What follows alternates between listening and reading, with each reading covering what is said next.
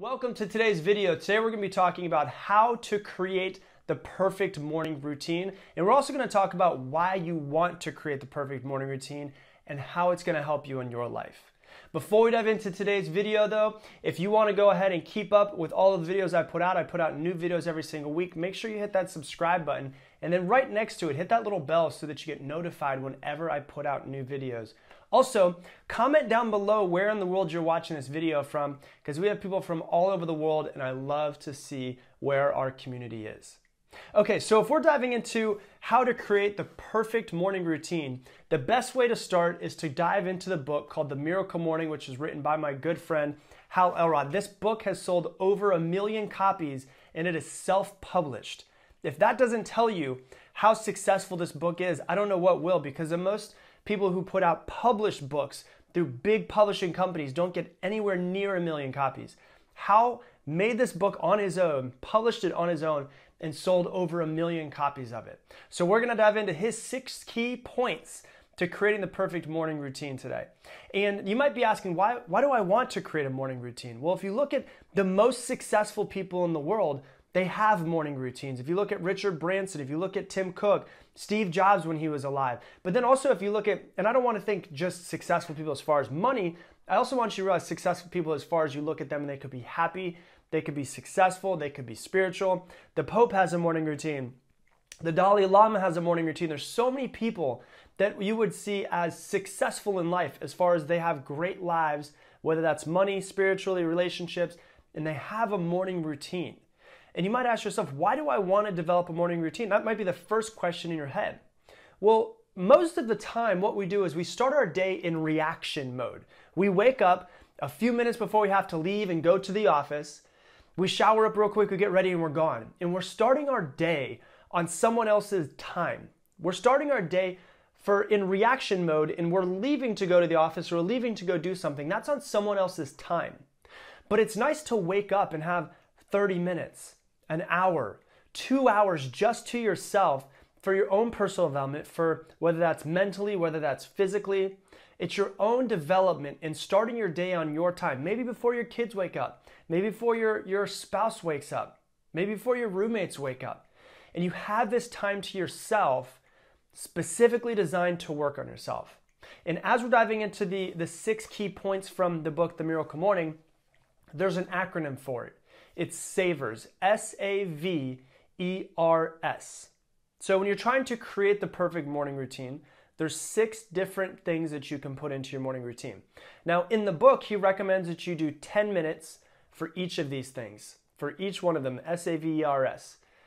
10 minutes for each one of them.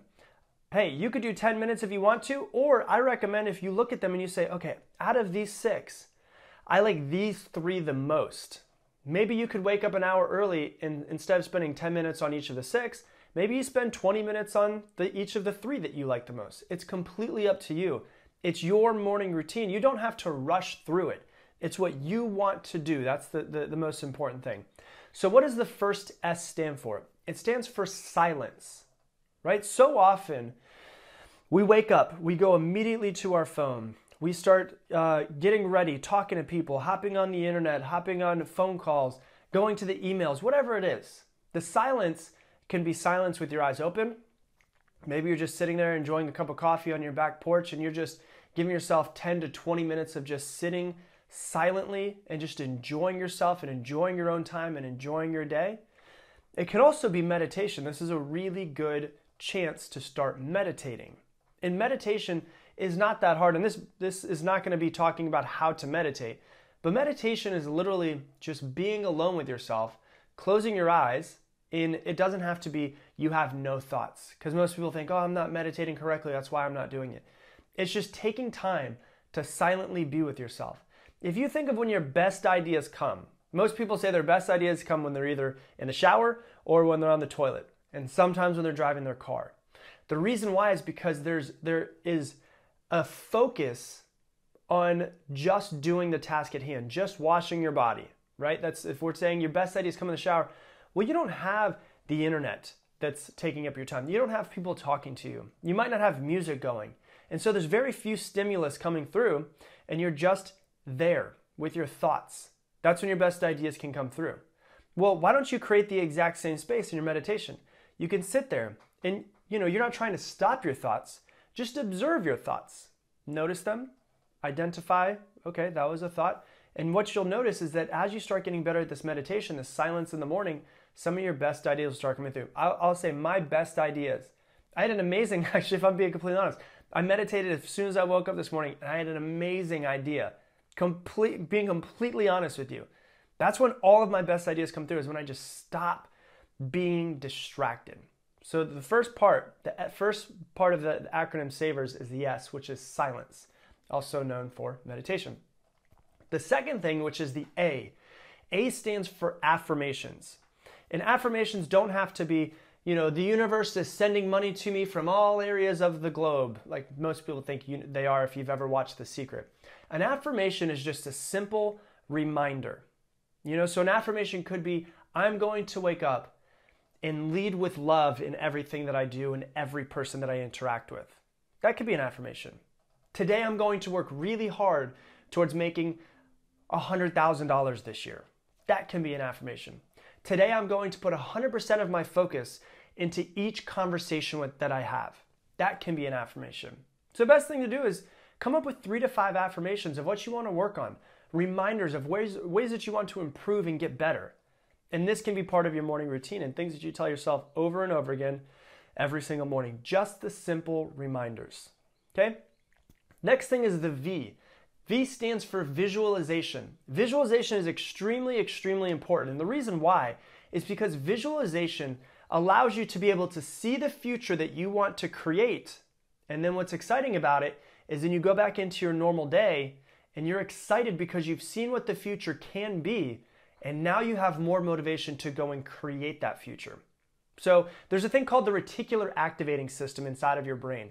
If you've ever bought a new car and you never see that car anywhere, but then after you buy it, you start seeing it everywhere. The reason why is because your reticular activating system.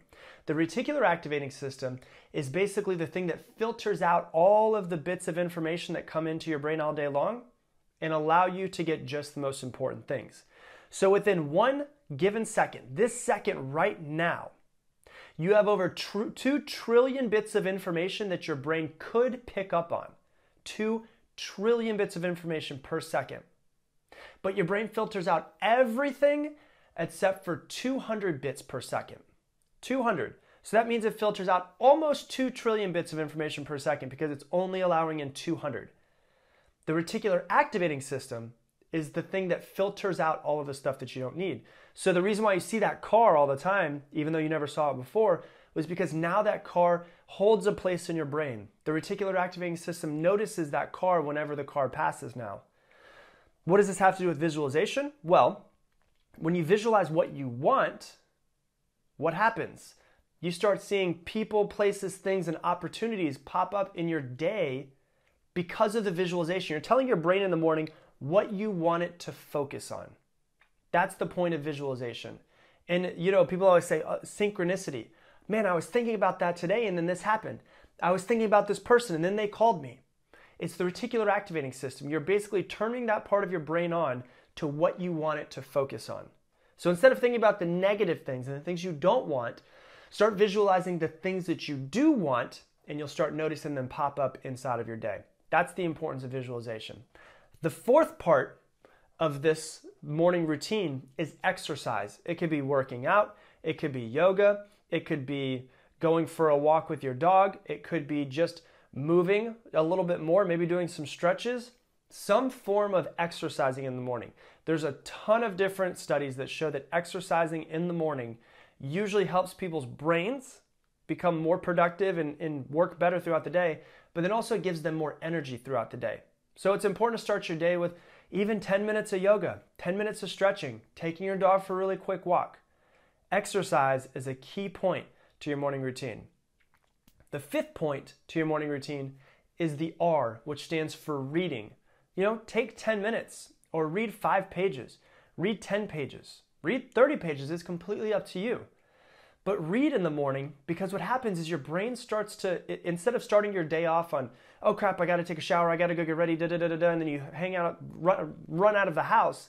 When you're reading, you start becoming more inspired You start thinking about what the future could hold for you based on the stuff that you're reading.